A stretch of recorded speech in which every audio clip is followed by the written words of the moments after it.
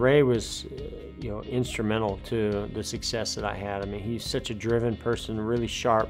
You know, he knew not only how to how to uh, work on a car and set up a car. He, he, he drove cars himself, so he understood it from the driver's uh, standpoint, and that really helped us communicate.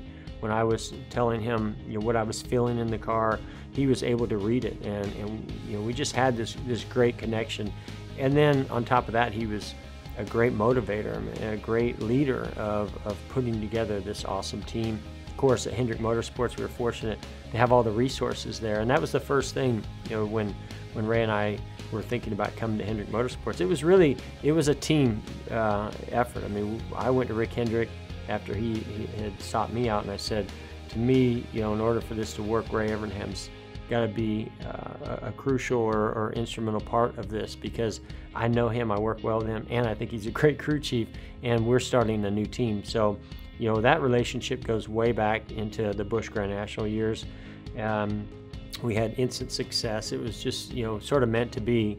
And then to come work for Hendrick Motorsports together, start the team together, go win, you know, our first race together, first championship together, and, and you know, two more after that was, um, I mean, I, th- I, think, you know, those stats pretty much speak for themselves. But even today, you know, Ray and I are, are great friends. Um, you know, he still plays a, a, role here at Hendrick Motorsports.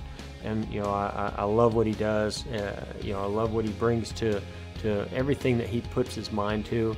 Um, and I mean, I think if he really wanted to, he could probably still be a crew chief today and be successful. But he's also, um, you know, someone that's very loyal, and that's what Rick Hendrick, um, you know, has has always, um, you know, shown and, and, and, and really presented to the people that work for him and the people he surrounds himself with and the partners that we have. And, and we appreciate uh, long-standing partnerships and loyalty and we all have that connection with Valvoline.